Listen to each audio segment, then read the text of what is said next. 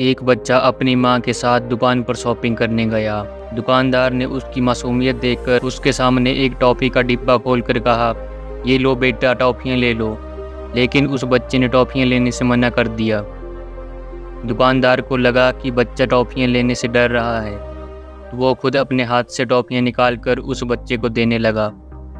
इस बार बच्चे ने जल्दी से टॉफ़ियाँ ले ली और अपनी जेब में डाल ली। वापस आते हुए उसकी माँ ने पूछा, जब अंकल तुम्हारे सामने डिब्बा खोल कर टॉफ़ियाँ दे रहे थे, तब तुमने टॉफ़ियाँ क्यों नहीं ली? तब बच्चे ने बड़ी खूबसूरती से कहा, माँ, मेरे हाथ छोटे छोटे हैं। अगर मैं टॉफ़ियाँ ले लेता तो दो तीन टॉफ़ियाँ ही आती। जबकि अंकल के हाथ बड़े हैं, इसलिए बहुत सारी टॉफ़ियाँ मिल गई। दोस्तों, ये शॉर्ट स्टोरी हमें सिखाती है कि इस लाइफ में जब भगवान हमें कुछ देता है तो वह अपनी मर्ज़ी से देता है। और वह हमारी सोच से परे होता है। हमें हमेशा उसकी मर्ज़ी में खुश रहना चाहिए।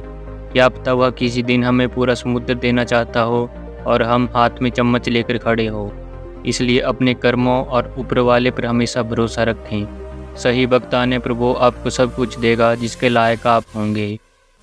दोस्तों, अगर वीडियो पसंद आई हो तो चैनल को सब्सक्राइब कर देना और वीडियो को लाइक कर देना। धन्यवाद।